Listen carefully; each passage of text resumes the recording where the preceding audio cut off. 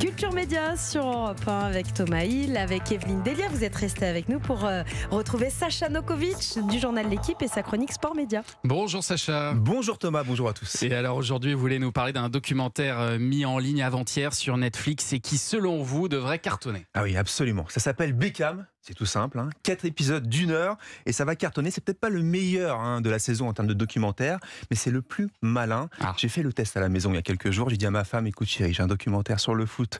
Pour le boulot, il faut le Aïe, voir. aïe, aïe. Elle a grimacé. J'ai dit Beckham, je vous jure que c'est vrai. Elle a pris la télécommande et c'est elle qui a appuyé sur play. Donc voilà.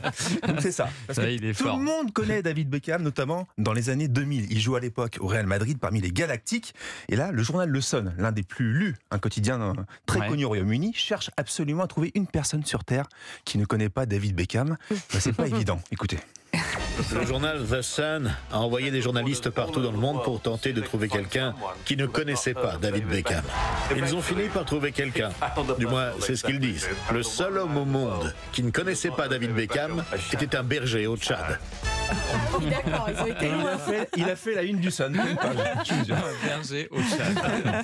bon, j'imagine qu'on parle pas seulement de l'idole David Beckham dans ce doc, euh, on voit un petit peu aussi ses failles. Ah oui, ils font l'armure, David. Il y a des moments plus compliqués hein, dans sa carrière, notamment proche de la dépression à certains moments. Euh, les paparazzades de sa famille, c'est pas facile à vivre. Et puis, euh, bah, tout n'est pas rose dans le parcours, mais on trouve un peu de tout euh, dans ce film sur les Beckham. En fait, les fans de foot retrouvent l'un des plus beaux pieds droits, l'un des plus précis euh, de l'histoire du foot. Les fashionistas sont ravis de revoir l'un des sex symboles quand même, hein, une gravure de mode euh, des années 2000, non, Evelyne? Si, si, elle a accroché, accroché. les fondus de business bah, revivent la naissance et l'explosion de la marque Beckham. Et puis les plus romantiques comme moi sont ravis d'apprendre comment l'un des couples les plus glamour Ah, bien d'Angleterre s'est rencontré dans les années Ouais. 90. On imagine dans une soirée mondaine ou dans le carré VIP d'une boîte de nuit, par exemple. Et bah pas du tout Thomas. C'est devant la télé que David est tombé amoureux euh, de Ah. Victoria. Un jour, il est avec son coéquipier Gary Neville de Manchester United. Et il tombe un peu par hasard sur ce clip des Spice Girls, le fameux Wannabe. Et voilà. Et la suite, bah, ce sont les deux copains qui nous la racontent. On regardait la télé, le clip passait, on plaisantait, et puis je me suis tourné vers Gary et j'ai dit Tu vois cette fille? C'est elle que je vais épouser. Je vais épouser celle qui porte une robe noire. On a tous déjà fait ça au moins une fois, voir une fille à la télé et dire qu'elle nous plaît. Mais on finit jamais avec. Ouais, enfin, Sauf Moi quand j'ai dit ça sur Brad Pitt, ça n'a pas marché. mais, euh, j'ai dit c'est lui que je vais épouser. ça n'a- Mais vous n'êtes pas de David nouvelles. Beckham, c'est tout, c'est ça. Pas de retour. non. Bon, la suite, elle est plus simple, elle est plus organisée. hein. C'est Victoria qui se rend à un match de Manchester. Et là, c'est le coup de foudre. Deux personnalités qui se ressemblent et qui viennent de milieux populaires. En tout cas, c'est la version euh, de Victoria, jusqu'à jusqu'à ce que David passe une tête au moment de l'interview pour rétablir un peu la vérité. On est tous les deux issus de la classe ouvrière. Sois honnête. Je suis honnête. Arrête. Je suis honnête.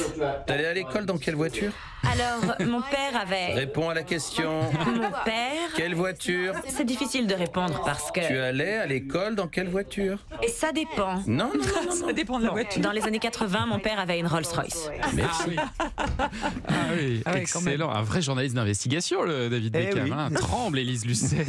Euh, allez, on passe d'une star du sport à une autre, euh, naissante, celle-ci, le basketteur français Victor Wembanyama, qui fait l'objet d'un documentaire qui est diffusé dimanche à 21h10 sur Canal. Et oui, ça s'appelle Unique. Et Victor Wembanyama, bah, c'est la star du moment, hein. graine de champion euh, française, 19 ans, qui va faire ses débuts en NBA dans quelques jours. Et c'était il y a un an qu'on a appris à connaître ce champion à Las Vegas avec son équipe de Boulogne-le-Valois. Là, c'est la Wemba Mania qui explose et ce sont ses agents qui expliquent ça le mieux. On l'écoute. On a les demandes de tous les médias du monde, du Brésil, de l'Allemagne, de l'Italie, bien sûr des États-Unis, tous les médias français. Par exemple, Musée Grévin, je leur ai répondu. J'aurais dit, mais faut peut-être attendre qu'il gagne quand même quelques titres avant d'avoir sa statue.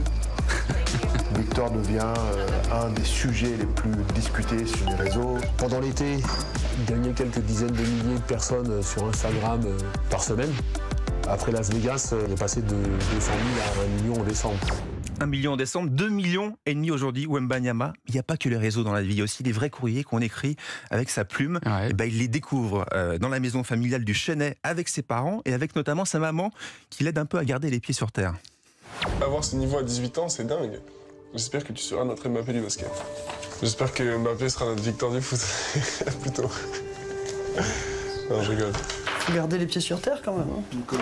C'est pas parce que Le les gens sont idolâtres que- qu'il faut prendre la grosse tête. Je sais. tu la prends pas. Phoenix, euh, encore États-Unis. Là, tu as encore la Chine. Victor, come on, I love you.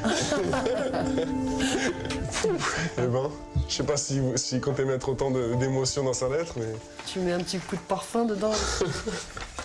tu rends les gens heureux, qu'est-ce que tu veux? C'est Ah. comme vous, Thomas. Wimby rend les gens heureux. Bien sûr, bien sûr. J'a- J'attends encore le courrier de mon premier fan chinois de culture média. Ça va venir, ça va venir.